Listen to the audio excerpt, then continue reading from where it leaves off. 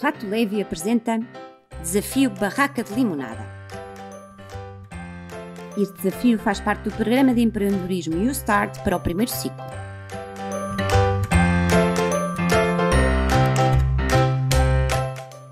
Gostarias de tentar vender alguma coisa? Talvez no teu próprio mercado. O Levi mostrar-te-á como organizares um dia de mercado. Juntamente com os teus colegas de turma, pensem no que querem vender num dia do mercado. Podem fazer um produto e vendê-lo, ou podem oferecer um serviço, o que significa que alguém vos pagará por fazerem um trabalho específico.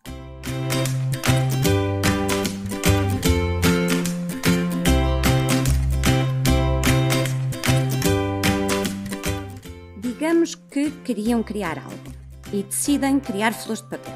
Há várias coisas que precisam considerar. Levi elaborou um plano de trabalho com todos os passos importantes. Primeiro pensem porque querem realizar um dia do mercado. Que benefícios terão com isso? Qual é o propósito desse projeto? Querem, por exemplo, ganhar dinheiro para depois, juntos, poderem fazer algo divertido? Ou querem apoiar alguém com o dinheiro que ganharam? Quem deve comprar as vossas flores de papel? Os vossos pais, outros elementos da família ou pessoas que não conhecem? Estarão eles dispostos a gastar dinheiro com o vosso produto? Como imaginam a implementação dos vossos planos? Onde podem realizar o dia do mercado? Na vossa escola ou num lugar público? Quem quer ser responsável por qual tarefa? Pensem nas vossas forças pessoais e dividam as tarefas de tal forma que cada criança possa fazer algo em que é bom.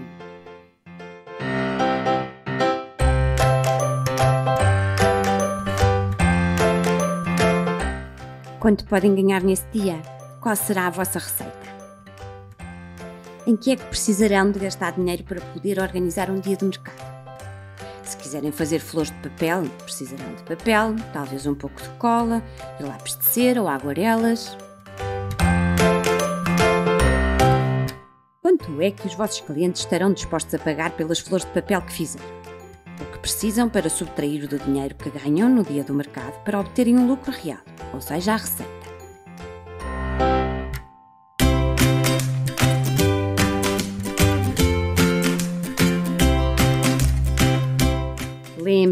Façam tudo com respeito. Pensem em como podem respeitar melhor as pessoas e o meio ambiente ao fazerem as vossas flores de papel. Talvez possam usar papel usado para as vossas flores. Desta forma, estariam a reciclar resíduos, o que é bom para o ambiente. Não se esqueçam de fazer um horário exato. Quem fará o quê e quando.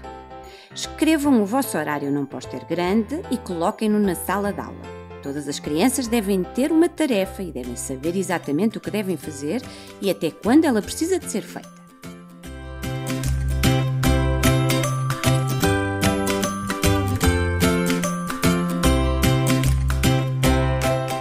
Quando o grande dia chegar, podem vender as vossas flores de papel.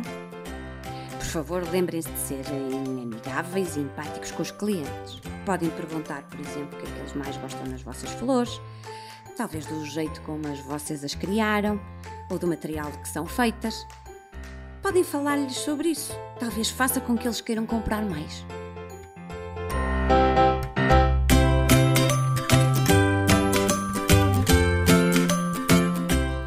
E quando o dia do mercado acabar, reservem um tempinho para refletir.